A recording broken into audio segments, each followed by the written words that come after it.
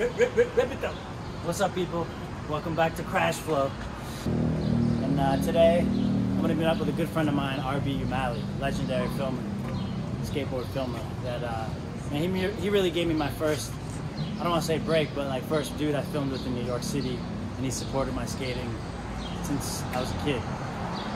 But I want to talk to him about kids that are interested in filming and things that they can uh, do that they should know about filming because I think early on in skating, I know I was a guy with a point and shoot camera with all my friends. I used to shoot photos, and then I realized I wanted to just skate. But I, started getting into photography. But I think usually, out of a crew of kids, there's usually one guy that you know wants to buy the camera or wants to film everybody or wants to shoot photos. So I was interested to talk to RB about you know how he started filming and what are certain things that kids should know today that would help them to get going, to what cameras they should buy, what techniques. So I'm interested too because I don't even know. You know, I'm usually on the other side filming. But so let's go meet up with RB now. Uh, oh, here, here he is right here. Yeah. What's up, buddy? All right, RB Umali, legend, legend, legend. All right, what's up, guys? I'm taking over the camera now. ah, that's my man. My man Eli right here. Yeah, so I mean, RB's filmed. You know, he's made his own videos. Peep this to EST videos. Those were the first videos I was ever I was ever in as a kid. To film for Zoo York for how many years? Uh, about twenty something years with Zoo York, man. Yeah, I was I was at Zoo York for every single phase of that company. and now he continues run. to work with big brands from everybody, Red Bull to stuff outside of skating. Yeah, it's all skate related in some one way or another. But yeah, I'm thinking outside the box these days. So, when did you know? Like, when did you know you wanted to? Like, you were skateboarding, then when did you know you were like, oh, I want to film? Yeah, I mean, first I got into skateboarding, you know, after like you know BMX riding and watching Back to the Future the same way. A lot of kids from my generation, or a lot of old men from my generation, got into skateboarding, and um, I feel like I got I just started watching skate videos, like the Bones Brigade videos, the H Street videos, all the World Industries videos were all like super influential to me. And then my friends and I started getting a little better at skating. We wanted to start filming our tricks. You were the dude that was like, well, my da- I'm gonna yeah. get a camera. Well, my no, my dad had a video camera. It was oh, like my dad's video oh, camera. So your dad, and I pretty much crazy, yeah, I pretty much hijacked my dad's camera. Wow. And like, he he bought the camera for like family memories and stuff, and then I just started. like, no, it was a little little Sony eight millimeter camera. Okay. And uh, he got it from the Sharper Image. I remember like it was uh, yeah, it was high tech at the time. Now I look at it, it's really not that tech anymore. That's crazy. But um. So we had to switch stoops real quick. All right.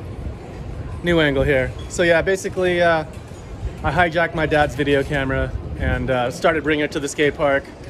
And then I, I noticed in all the H Street videos they had, a fit, they were using fisheye lenses that were like real circular and wide, and I really wanted to get that look. So we bought this like cheap $30 fisheye lens that I found in some electronic catalog and then I was the man at the skate park because I was the only one with a video camera that had a fisheye lens.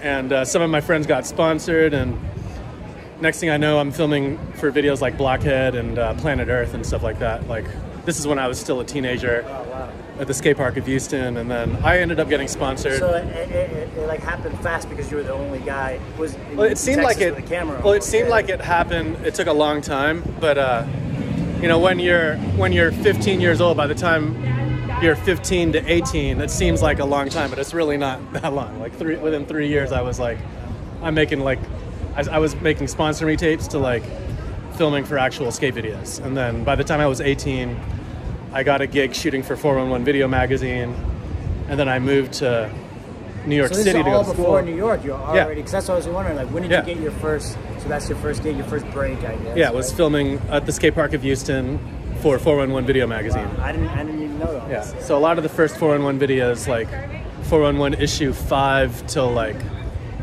I don't know. I started in issue five. That's when I started getting like doing articles for 411. So then, basically, back when backtrack for the kids, yeah. like, so basically, you kind of had a crew, right? And you were like, oh, you're the guy with the camera, or how did you get known as like, oh yeah, RB's filming? Like it just, it seems like it ha- like that it happened. Quickly. I mean, first I started filming just like young kids my age.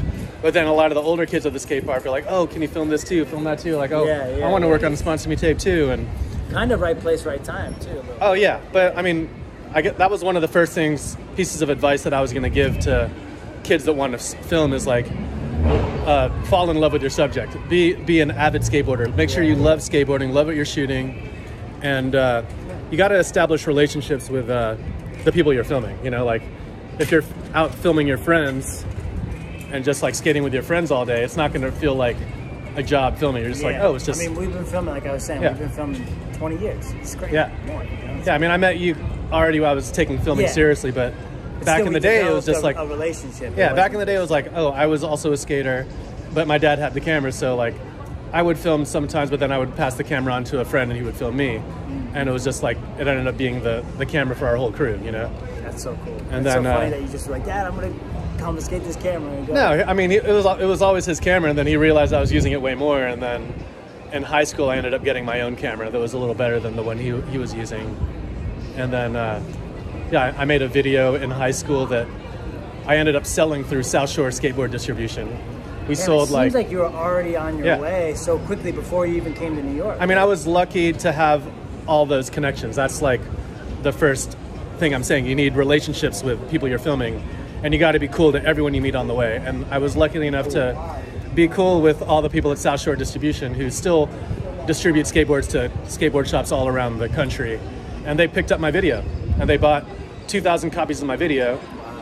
And I ended up making enough money off that to buying a professional high, like three chip video camera that they were ma- making all the Plan B videos with. And there was a shut up and skate contest at our local skate park where all the pro filmers came, and I was like, whoa, they're all filming with this like sick camera. It was the Sony VX3, which I ended up getting. And then, uh, and then I moved to New York City with that camera, already have, having relationships at Transworld and 411. So then you came here like once, by the time you got to New York, you were like ready to go. Oh yeah, and I was wanted young and hungry. I was 17 years old, a freshman at NYU, connections at the main skateboard media outlets, and in the city where like there's hardly anyone really filmed. So yeah, I was in the right place at the right time. I was also an avid skater, and you know people got along with me, and yeah, I just wanted to film, film, film. You know, yeah, I didn't want to stop. All right, so I'm a skater kid. I've been skating for a couple months to a year. I'm getting better, but I like filming, and I want to start filming my friends. And maybe even do something with the filming. What's what? Where do I start? Like for kids out there that want to start filming skating. Yeah, I mean, first things first, I would get get a good camera that you're comfortable using. You don't need to spend that much money on a camera. You can make a really good video with just your phone these days, or get a GoPro. But um, accessory-wise, I would get uh, get a nice wide-angle lens and get something to keep your camera stable. Just use yeah, use what you can afford. I mean, if you can afford a really no- nice camera, great. But you don't need the nicest camera. Just it's all about what you're filming. So that is key to that first piece of advice. Make good relationships with your subject. Yeah, if you if you want to film good skaters, be cool with all the best skaters, and you know let them know that you want to film. And most good skaters want to get their tricks on film. You know, so if you're out there and you want to you want to film, like a lot of good skaters will let you practice. You know, like getting your angles down with with them, and yeah, just keep practicing. Just film as much as you can. Watch your footage, and whatever you want to do to make it better. You know. I guess another piece of advice would be to watch a lot of skate videos, see what you like, see what influences you, and not ju- don't just mimic that, but use that as like, you know, inspiration to to take your craft and take it to the next level. Either imitate it or do something different. Like, there's no wrong way to film. Everybody has their own like preference of what looks good, and if it looks good to you and other people like it, that's cool. You know, other people might not like it at first, and then the next thing you know, everybody might be biting your style and trying to film just like you. You know. So you don't need expensive equipment.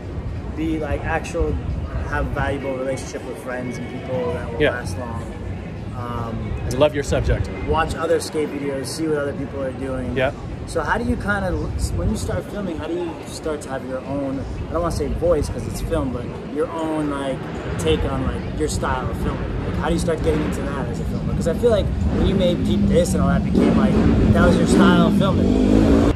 So yeah, basically, you know, I, I was always influenced by the H Street videos and the World Industries videos, but then I wanted to take it to put my twist on it, which was taking it to New York City giving it that urban feel and putting music that I thought complemented the skater and the environment, which was hip hop, the hip hop soundtrack of the mid to late '90s. And it took, I was just in the right place at the right time, and it all kind of came together, and that ended up being my flavor of things, you know. And then when people th- think of like mid to late '90s New York City skateboarding, they think of my videos because I was the only one out there making videos like that. But yeah, pretty much you can you can put your own twist on anything, you know, and uh, yeah, make it original. But obviously, you're going to be influenced and copy other people's styles at first, and then once you get your craft down, you can start putting your own twist on things. You know, and then um, yeah, another piece of advice is like be a skater also. You know, if you, that will help your relationship with other skaters. If you know about skating and they also see that you can skate, they're going to take your filming more seriously and not just think that you're they're wasting their time filming with someone that doesn't know anything about skateboarding. You know. I know one thing for me is that was key is always like, and that's why me and RB we always got along. It's like filmers that come and skate the spot and hang out and you start developing that relationship and people that love skateboarding. You know, that's a simple thing that you gotta really love skateboarding. You gotta, you gotta love filming skateboarding because we've gone through so much shit over the years. You've been in the hottest yeah. summers, the coldest winters. I'm like, come on, let's go out, you know. But yeah. you gotta love skating and love what you do. So if you're not really in it and you just want to like make money filming or skating, you know, it's like it probably might not be for you. So yeah. make sure you're really into it before you want to go yeah. buy the camera and yeah. all the it's, skate stuff. It's a labor of love. Like you're gonna you're gonna spend more money doing it before you really are like making any money doing it. And I was definitely lucky to make some money doing what I love. And if you are lucky enough to make money doing what you love, you're gonna do a good job at it. You know. And uh, yeah, you gotta you gotta be patient. Patience, takes a lot of time. Yeah, you got you got to be patient. Be willing to sit there and go over and over and over again until he like lands it over and over again. Because I take mad yeah, long. Yeah. Not, I don't land well, tricks first try. Anymore. Well, you, they might land it first try, but it might not be perfect. You know. Well, that one time I got that line. Yeah. And and also like yeah, you want it's almost more important for me to make sure the skater is happy with the trick before I'm happy with it. You know. And that is like the biggest feeling of gratitude is when you make a, a video part with a skater and then he's actually like psyched on the part or she's actually psyched on the part and. Uh, just knowing that like you were there for that all those battles and yeah. seeing the final product and seeing other people appreciate it like that's that's a bigger paycheck than any company will ever pay you for you know putting the hours of work that you're going to put in because yeah all the hours that you put into making a video part is way less than minimum wage yeah we do a lot of skating for nothing no, yeah. no it's all it's all for the love and at the end of the yeah. day now I get to have this lifelong relationship with this dude. Yeah, it's been amazing. And then it's not just the relationships you're building; you're you're making memories, and then the video that you're putting out there for everyone to see that's like an eternal memory that you can pass on from generation to generation. You've left your mark, and yeah, that's that's such a good feeling, you know. Yeah, Peep, this is forever now, bro. legend, legend. Yeah, I've been making videos that over 20 years ago that people are still watching to this day, which is pretty crazy to me. You know, considering now with the internet, like people are putting Instagram posts up one day and then people are forgetting about it the next week. Like I was lucky to make videos in an era where, you know, it took a long time to make a video, yeah. put it put it on a videotape, send it out to people all over the world, and by the time people saw it, it would be like a month or two, you know. Whereas now, like, you kids are all lucky. You just film it on your phone, edit, it, put it out there, and kids see it all over the world like that same day. So, yeah. like, yeah, you guys got crazy, it easy. Crazy times. you guys got it easy. Like, go out there and just shoot as much as you can, man. Well, I hope that's like enough little tips. You know, I think you gave me plenty of little things to get started. Yeah, there's a lot. Maybe you got something out of it. But there's there's a lot to know. But I would just get out there, meet a crew, go skate. You don't need an expensive camera. I think that's important. So yeah, appreciate it, RB. My pleasure, Eli. Thanks, bro. All right, we're not socially distanced anymore. Hand sanitizing now. Later, guys.